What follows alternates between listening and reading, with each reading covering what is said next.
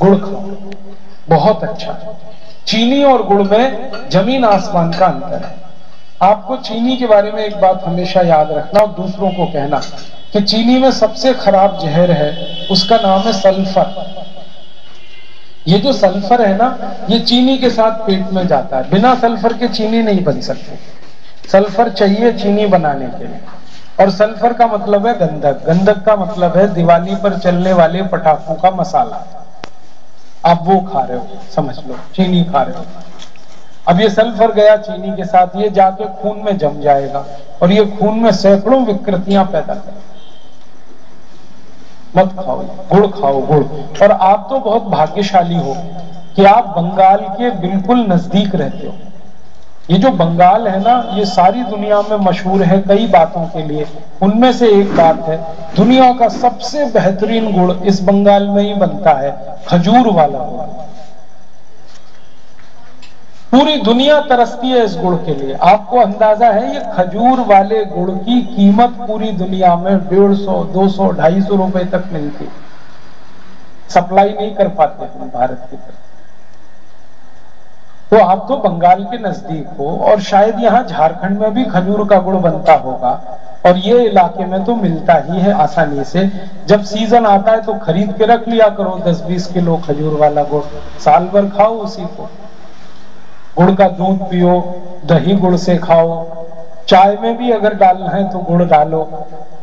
हलवा बनाना है, गुड़ का बनाओ। लड्डू बनाना है, मिठाई बनानी है, सब गुड़ की बनाओ। गुड़ खाया करो।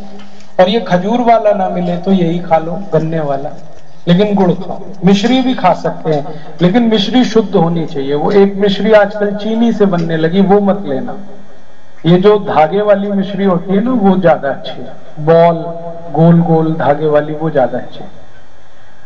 आपको गुड़ और चीनी के बारे में एक जानकारी दूँ जो हमेशा याद रखिए और आप सबको बताइए। आप खाना खाओ और खाना खा के पीछे से थोड़ा गुड़ खाओ, इतना सा, बस, ज़्यादा मत खाना।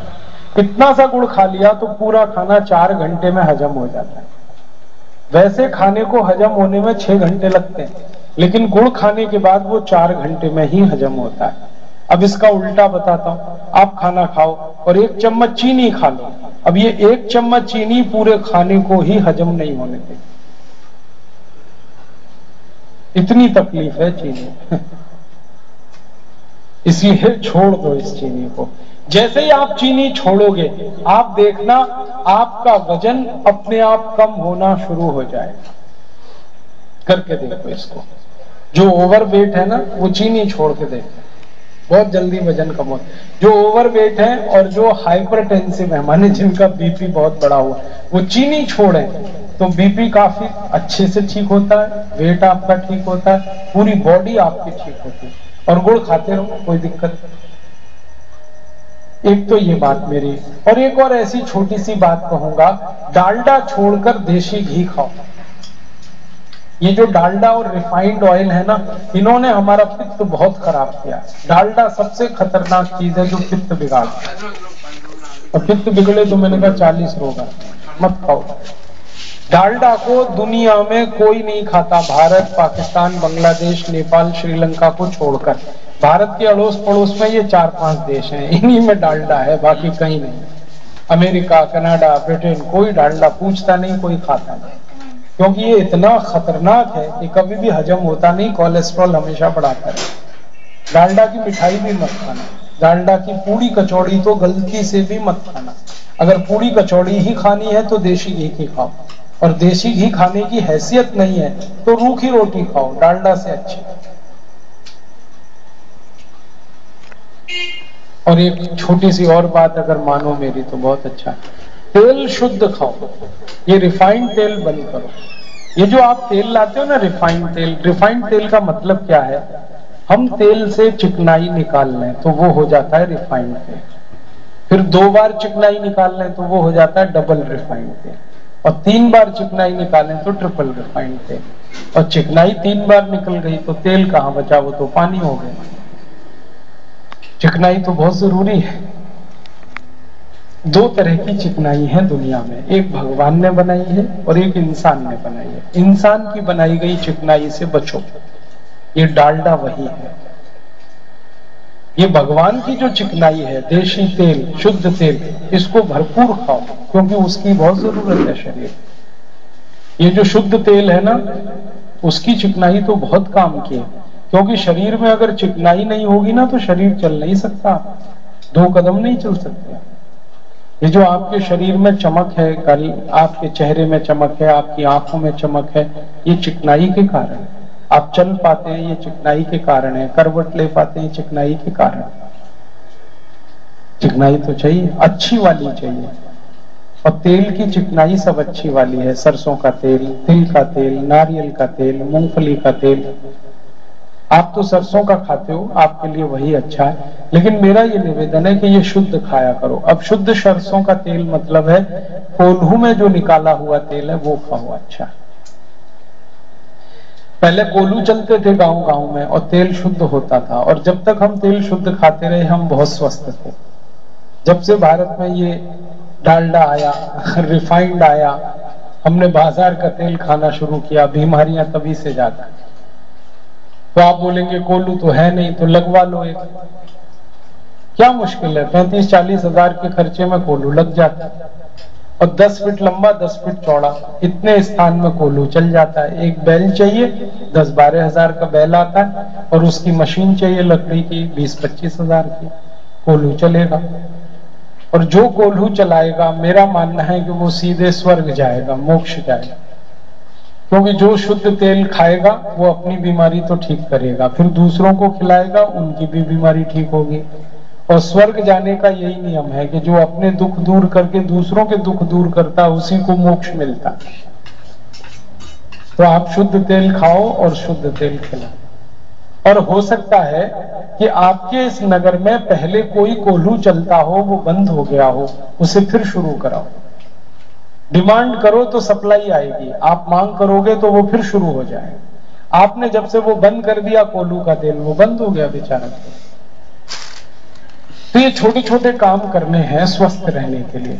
अब आखिरी एक छोटी सी बात मुझे करनी है।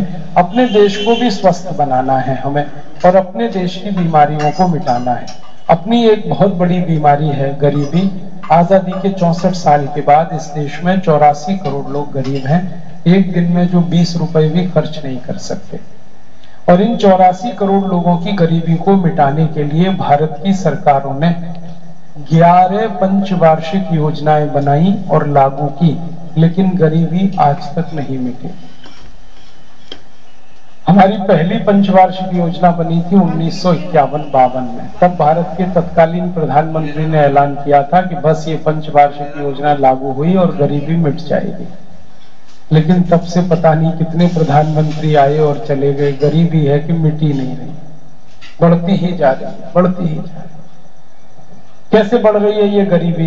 इसके बारे में हमारे देश के की प्रधानमंत्री थे, श्री राजीव गांधी। उन्होंने कहा था कि हमने गरीबी मिटाने के लिए अब तक जितने पैसे खर्च किए, वो सब पैसे नेता और अधिकारियों की जेब में चले। तो नेता और अधिकारियों की गरीबी दूर हुई है, देश की नहीं। श्री राजीव गांधी कहा करते थे कि जब मैं किसी गरीब आदमी की गरीबी मिटाने के लिए एक रुपया दिल्ली से भेजता हूँ तो गरीब आदमी के पास पंद्रह पैसा ही पहुँच पाता है। पिचासी पैसा बीच में ही लुट जाता है। अब पिचासी पैसा लुटता था उन्नीस सौ चौरासी में।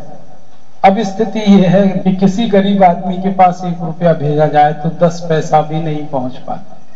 नब्बे पैसे से ज़्यादा लूट जाता है। और हर साल ये लूटखोरी होती है 18 से 20 लाख करोड़ की। अब हमें समझ में आया कि सरकार ने चौसठ साल में 110 लाख करोड़ रुपए खर्च किया गरीबी मिटाने के लिए। वो सारा पैसा कहाँ गया? वो लूटखोरी में, भ्रष्टाचार में चला गया। और वो पैसा नेताओं के बैंक खातों में जमा हो गया। हमारे देश में बहुत भ्रष्ट नेता है। और उनकी संख्या लगभग चौरासी हज़ार से ज़्यादा है।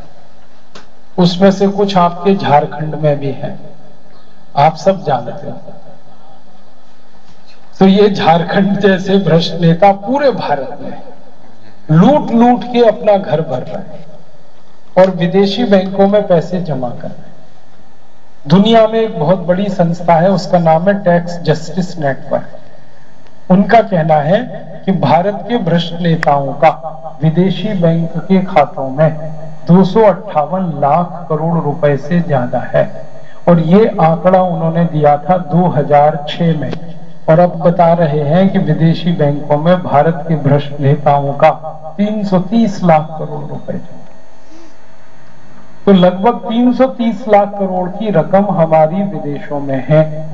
भ्रष्टाचार का ये सबसे क्रूर नमूना है। अब हम लोगों ने ये तय किया है कि इस भ्रष्टाचार को तो खत्म करना पड़ेगा। तब कोई समस्या हम हल कर पाएँगे।